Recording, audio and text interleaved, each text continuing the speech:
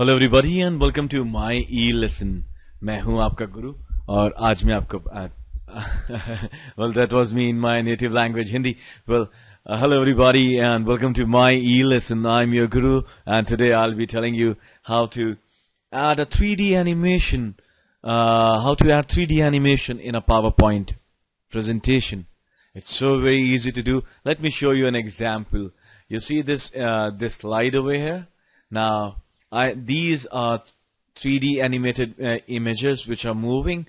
And as of now you won't see them because they uh, they move in the animated version uh, once you are in the slideshow mode. So let me put on the slideshow mode. I click here to go on the slideshow mode or I can press F5 also. See? Now here's a snake charmer the proverbial Indian snake charmer. And here's a shark and I love this one. Uh, the guy is ha having an umbrella with him, but uh, he is he should be more concerned uh, about the shark that's roaming around, that's circling him. So this is how animation can. This is how animation looks uh, in a 3D. Uh, uh, a 3D animation looks in a PowerPoint, PowerPoint presentation. And let me tell you how to do it yourself now. Well, let's insert a slide. Uh, do remember to go through my previous videos where I have taught how to insert a slide and work with the uh, other aspects of PowerPoint presentation. Now to insert a 3D image, uh, what you have to do, you have to go to insert and click on clip art. Yes. And then once uh, this, you'll then see this side sidebar column opening up. You have to ensure that you click on everywhere and even web, all these are checked, are selected. And then you should also ensure that once you click on results should be this option and then check off everything else and only keep this option where it says movies. Yes that's the one.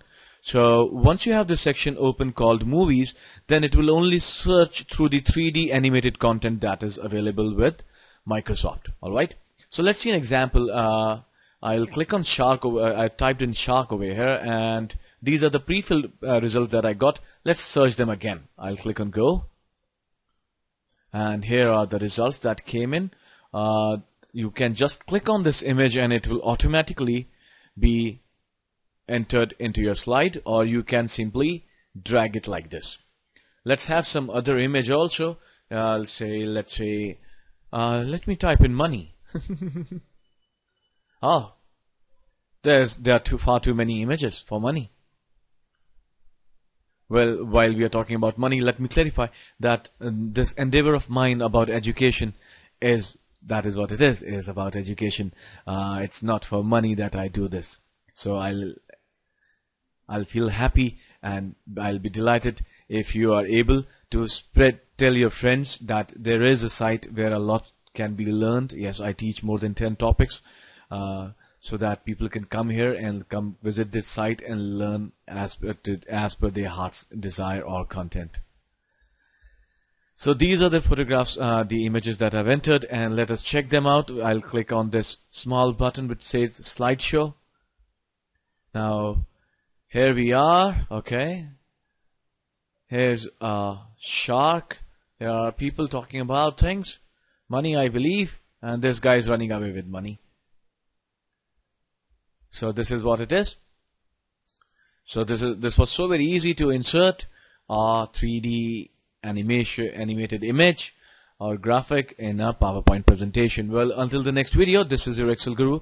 This is your Guru signing off for the day. Have a wonderful day ahead. Happy learning.